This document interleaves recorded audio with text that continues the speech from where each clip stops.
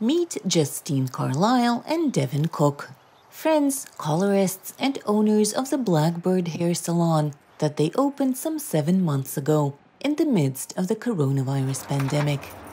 It was a lot of planning and hard work.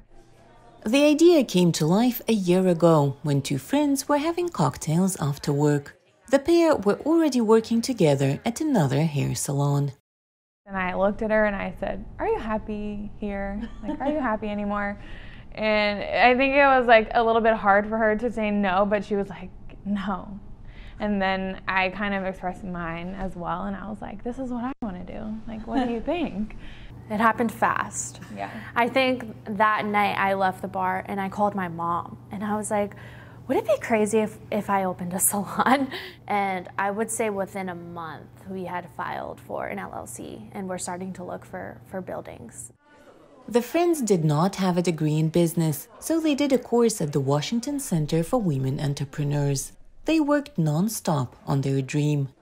We would go to work from 11 to 8, do hair behind the chair, serve our clients, and then we would go home and from like 8 until midnight we would be doing paperwork online, looking for locations, and on our days off, we would come and get together and sort of like plan our business plan. Then the coronavirus swept across the nation.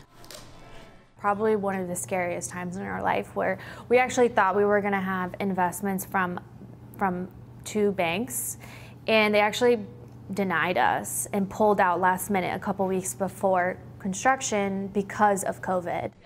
It cost them all of their savings. Their families and friends chipped in as well to help the young business. Blackbird Salon opened in August when Washington began to loosen its quarantine measures. And despite the many restrictions caused by the pandemic, they say the business is thriving. Our standards or like expectations, I should say, were set really low. We were kind of like, okay, let's just survive the first year, right? And then once we get out of COVID, we can talk a little bit about growth or be, like even just a conversation of success. I don't really think that existed in our first year due to the climate. I think it was just genuinely about survival and paying our rent. And I think I'm really fortunate to say that I feel like in the last year we've we have seen success. Since officially opening, the team working at the salon has grown to 13 women. One of the most rewarding things every day is to be able to have a team full of women at this point who come here and feel empowered and inspired by other hardworking women. Carlisle and Cook say their story shows how a simple exchange of ideas can mark the beginning of a dream come true. For Yulia Yermolenko in Washington, Anna Rice, VOA News.